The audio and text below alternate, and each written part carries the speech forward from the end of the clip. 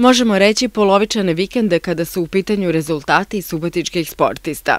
Rukometaši Spartak ovaj puta drugi deo sezone u okviru rukometne Super Lige počeli su pobedom. U Subotičkoj hali sportova gostovala ekipa Sloge iz Požege. Domaći tim pobedio je rezultatom 37 prema 30. Bila je ovo važna utakmica posle pauze koja je trajala više od dva meseca. Poznato je da Subotički tim ove godine ima za cilj da se plasira u play-off. Ovom pobedom sve su bliže svom cilju.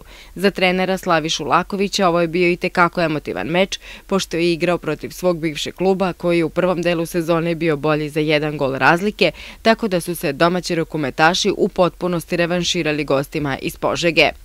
Dali smo sve o sebe, duža klupa, ja mislim da je presudila u ovoj utakmici, bolja sprema i zasluženo su pobedili utakmicu. Zahvalio bi se ekipi i publici na fair borbi i navijanju. Neka nastoje tako, želim puno uspeha u nastavku sezone.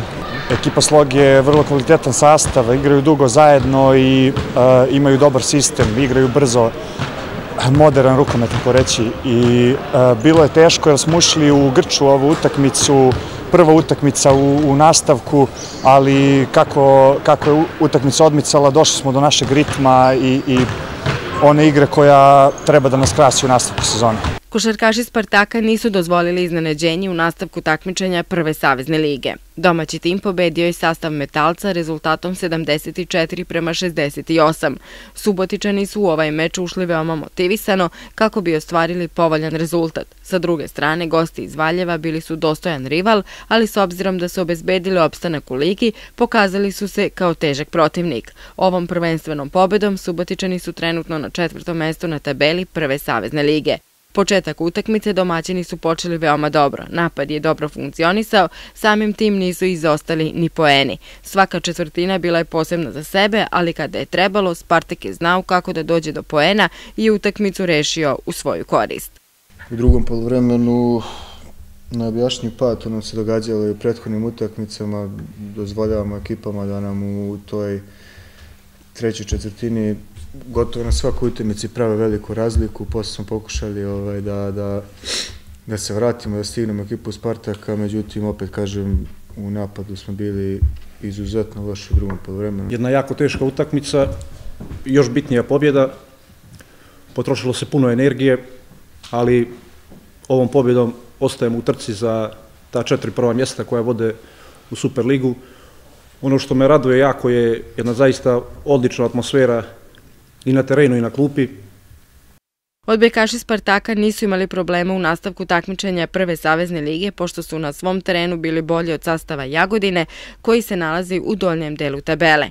Ekipa Igora Žakića maksimalnim rezultatom od 3-0 slavila je u ovom susretu po setovima 25-11, 25-18 i 25 prema 15. Bila je ovo još jedna dobra partija domaćih igrača, koji su pristupom u ovom meču bili na visini zadatka od prvog do posljednjih poena. Nešto starija publika koja je bila na tribinama prepoznala je trenera gostujuće ekipe koji je nekada igrao za odbojkaški klub Spartak, a sada je trener Jagodine. Dopada mi se, evo Spartak ima jednu finu, mladu, ambicioznu ekipu. Ovaj, želim im sve najbolje i kažem, volim uvek da dođem u subotu i vraćat ću se opet i šta da kažem, želim sve najbolje i Spartaku i svim ljudima u subotici. I drago mi je što sam opet ovdje. Odbekaši Spartaka potvrđuju da su u odličnoj formi, a samim tim i drže poziciju drugog mesta na tabeli. Slede im gostovanje ekipi Livnice, a zatim u Subotičku halu sportova gostuje lider na tabeli sastav Mladog radnika. Rvači Spartaka takmičari do 23 godine bili su i više nego uspešni na prvom seniorskom takmičenju koje je održano u Subotičkoj hali sportova proteklog vikenda. Domaća ekipa osvojila je titulu šampiona Srbije.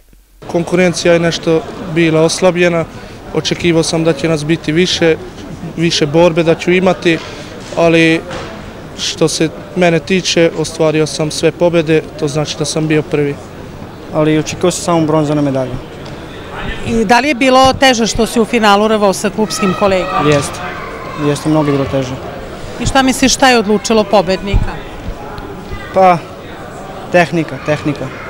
Što se tiče naših ženskih ekipa, one nisu bile uspešne u vikendu koji je iza nas. Košarkašice Spartaka poražene su u Nišu u nastavku takmičenja Prve savezne lige, dok su odbojkašice Spartaka poražene u Staroj Pazovi od ekipe Jedinstva.